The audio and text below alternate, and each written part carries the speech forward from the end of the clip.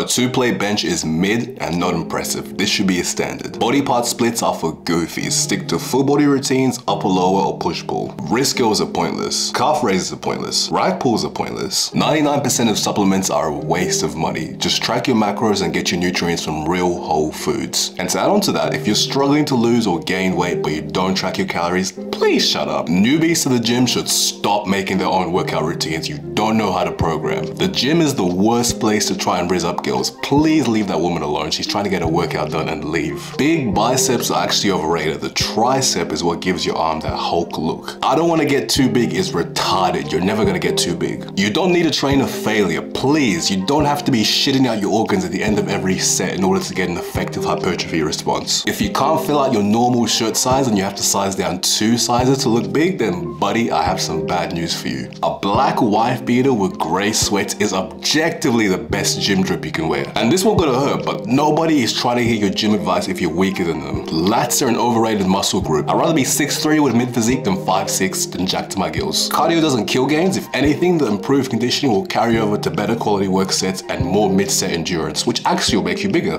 Raw dogging the gym with no music is insane. You guys are metal as fuck. Pre-workout is overrated. No one cares how much you leg press, buddy. Dumbbells are great for hypertrophy, but they don't fix left to right muscular imbalances. Single joint exercises are for working on your weak links, not primary muscle builders. You don't need to get too crazy lean to see your abs. Just work them out more consistently. And the last one, you really don't need to be training that many days a week for optimal growth. If you feel the need to be training more than uh, four times a week, then buddy, you got some problems, right?